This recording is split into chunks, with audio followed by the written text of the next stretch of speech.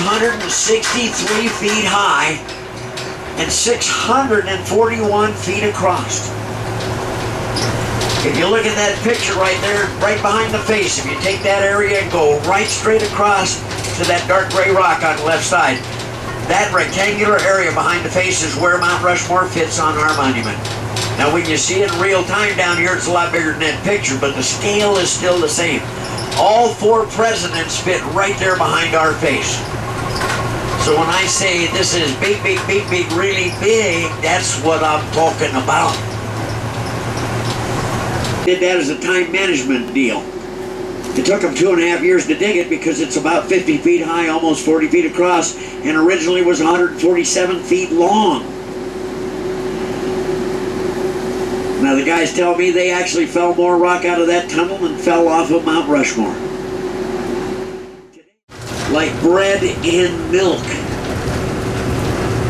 The other thing that happened after the dedication was companies like Case, Caterpillar, and John Deere Tractor started donating new hydraulic equipment to our cause, and that kind of thrust us into the 20th century.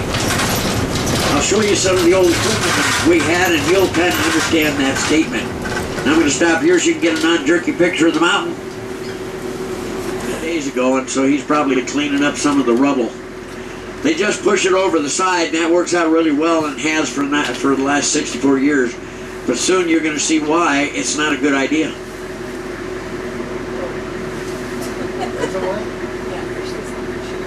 Now we're going to stop again up here where these guys are at.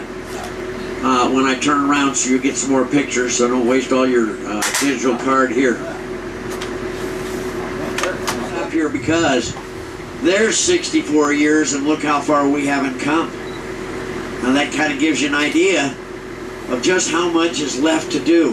When that upper two-thirds is done, we have to clear all that rubble that they're pushing over the side and have been pushing over for 64 years.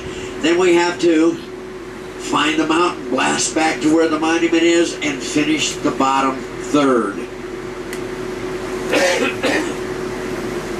on a minute. Let that process a little bit, and I'm going to take that one right there. There you go. You guys are done. Good job.